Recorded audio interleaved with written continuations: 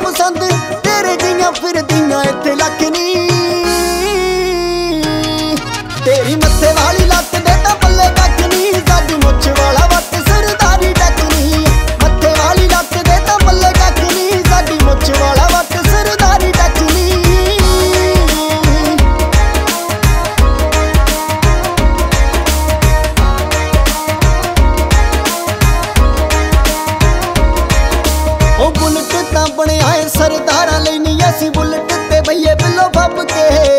ਜਦੋਂ ਦੀ ਇਹ ਆਈ, ਸੱਜੇ ਪਾਸੇ ਨਹੀਂ ਬ੍ਰੇਕ ਲੰਡੀ ਬੁੱਚੀ ਲਈ ਫਿਰਦਾ ਏ ਦੱਬ ਕੇ।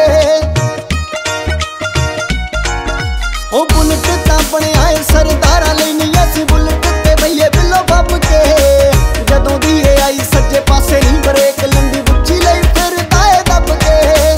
ਸਾਤੋਂ ਪੁੱਛ ਪੁੱਛ ਕੇ ਬ੍ਰਾਂਡ ਚੱਲਦੇ ਹੋ ਕੀਤਾ ਹੈ ਟ੍ਰੈਂਡ ਸੱਟਨੀ ਤੇਰੀ ਮੱਥੇ ਵਾਲੀ ਲੱਤ